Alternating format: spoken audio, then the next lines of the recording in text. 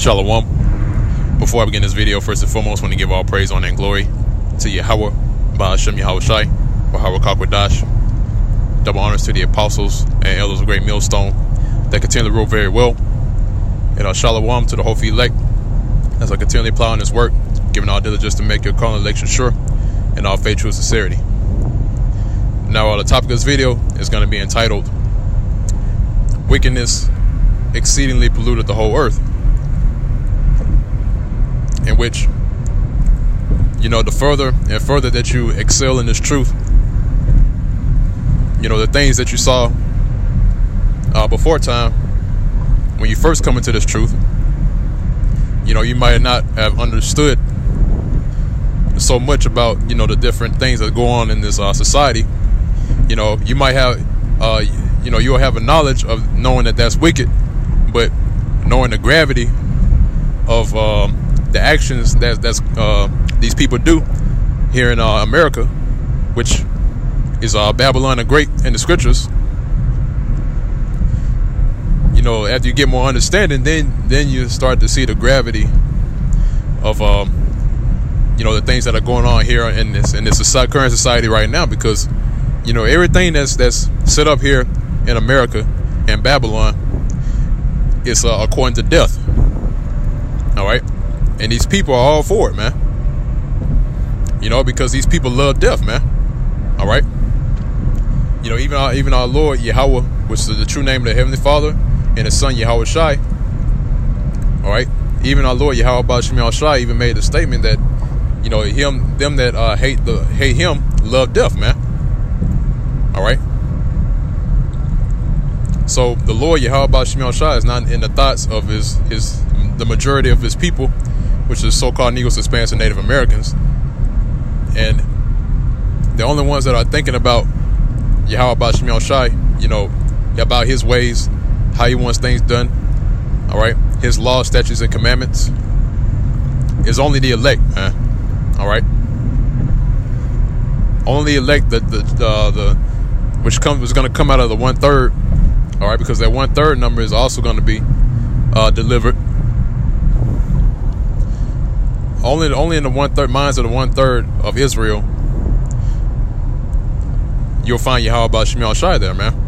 All right. But you know, as far as the things that we see now, man, you know, it's only going to get worse. All right. And we've been saying this for a while now, man. You know, looking at things that's going on here in, in this uh, current world, you know, it's only going to get worse, man. Monetarily, all right. Which, uh, in other words, economically, uh, you seeing uh, World War Three? It's on the horizon. It's ramping up.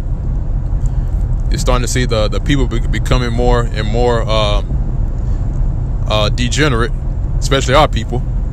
All right, the morality is, is has declined. So, like I said before, man, it's only going to get worse until the Lord will have to intervene and destroy this place off the face of the earth, man. All right, it's going to be a, a, a, a, cleansing of the land that you see here today, man. All right, not only here in America, which is going to be completely wiped out, but also other parts of the world, man. All right, because you got Khazar rats, uh, Amalekites of the uh, the stock of Esau, which uh, Esau is the true biblical nationality of uh, the so-called white man. You have them in in, uh, in our land, man. You have them in in uh, Jerusalem, in Israel. All right, and that land's got to be cleansed. All right, because you have uh, abom- abominable. Well, actually, you have abominations there in that land, man. So that land's definitely got to be cleansed as well, man. All right.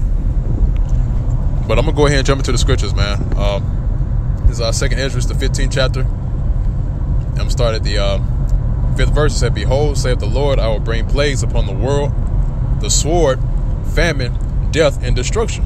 All right? Because if this place was such a, a God fearing country, then why would the Lord make a statement like this? You know, especially these being um, the, the end times, man. And this is known as the end times. All right? You know, they like they like to say uh, this place was founded on, upon the Bible, in which this place wasn't founded upon the Bible, man. This place was founded upon uh, the interests of the bankers. That's why America is not really even a, a so-called country. It's actually an enterprise, man. All right, you can look that up. All right.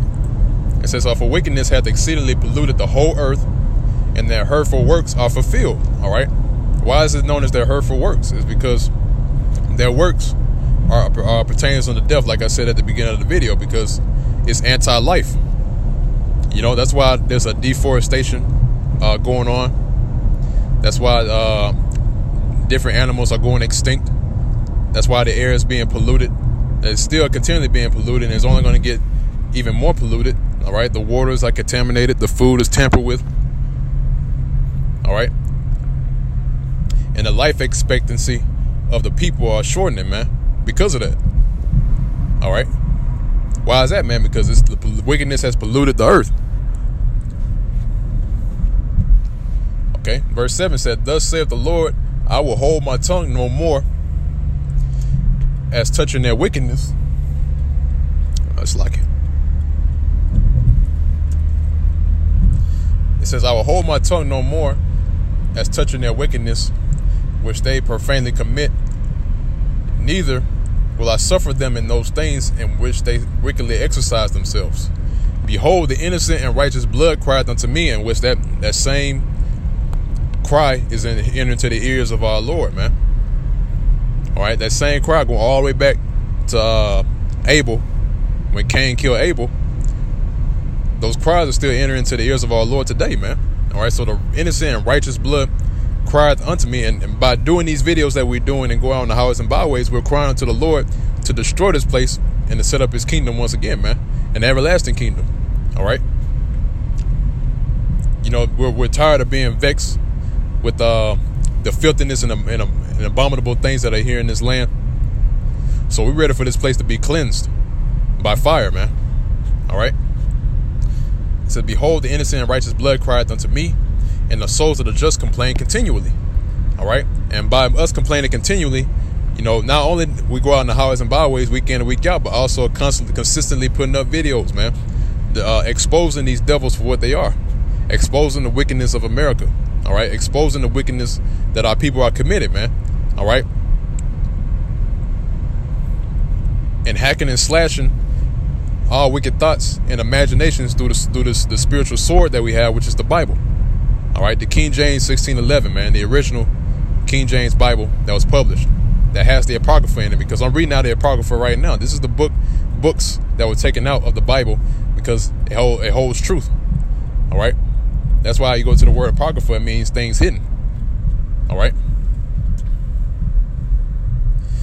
Now I want to jump from there. I want to grab another precept. Uh, actually, should be in Sirach.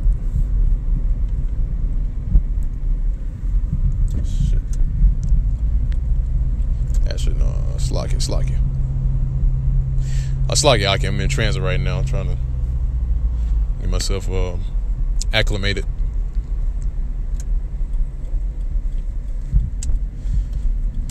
Always heavy traffic. But uh, yeah, I want to grab an uh, another precept, if I may.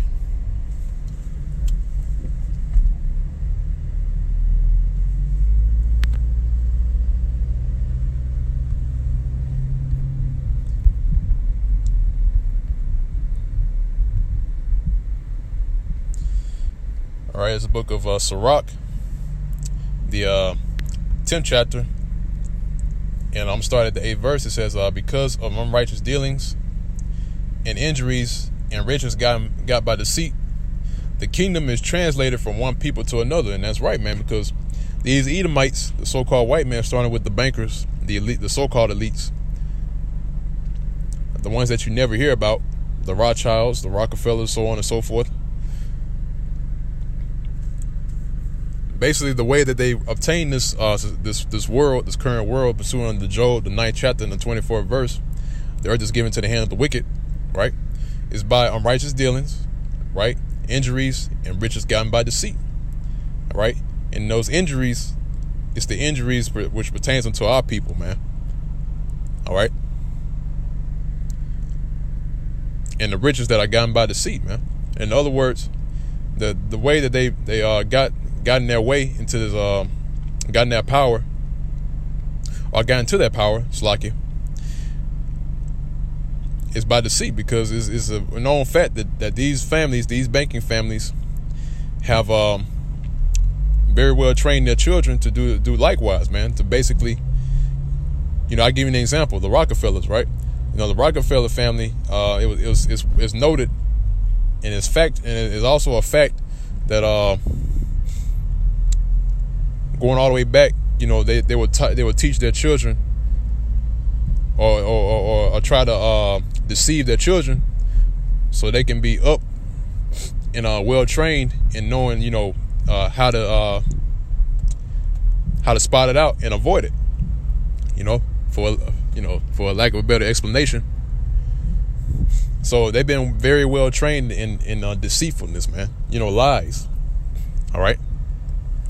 That's why this is a a kept secret that's been hidden for so long, but now through the spirit and power of Yahweh Bashim Shai, now it's uh, being put out in the forefront. And because we've been exposing these devils for who they really are. That's why they've been trying to take this truth off the uh, the internet and uh, try to take us off the highways and byways, man. Because they know who they are and they know who we are. All right. Verse 9 it says, Why is earth and ashes proud? There is not a more wicked thing than a covetous man, for such in one setteth his own soul to sale, because while he liveth, he casteth away his bowels. All right, let's see that's pretty much it on that, man. All right, but like I mentioned before, man, this this this place is uh ripe for destruction, man. All right, actually, um, I want to grab one more precept. I'm gonna close it on out. Make a quick quick precept, quick precept. Uh, Joel, the third chapter, in the uh, 13 verses, put ye in the sickle, for the harvest is ripe. All right, now harvest is uh starting with the destruction of this place, and also to the salvation of the uh, the chosen out of the nation of Israel. All right. It says, "Come, get you down, for the press is full, the fast overflow, for their wickedness is great." So that same the same uh, scripture which I read earlier in Second Esdras, the 15th chapter, wickedness has exceedingly polluted the whole earth, so that the harvest is ripe right now, man. All right, the press is full and is ready to be uh, reaped. All right. So in due time, uh, if you read a verse up, all right, about the valley of Jehoshaphat, like as you see right here on the screen, that's when you're going to start to see the momentum uh, start to ramp up even more, man. That that because really that's the start of World War Three. All right, and when that, when World War Three commences, that will spell the end for this place, which is uh America, which is known as Babylon the Great in the Scriptures. Because once World War Three commences, then you start to see the missiles fly. That's when you st- that's when you will see the ICBM missiles uh, make their way over to this land. All right, that you people hold near and dear. I'm talking about the ones that's outside of this fold of Yahweh about Shai, man. All right. So that sickle is about to about to be um is about to reap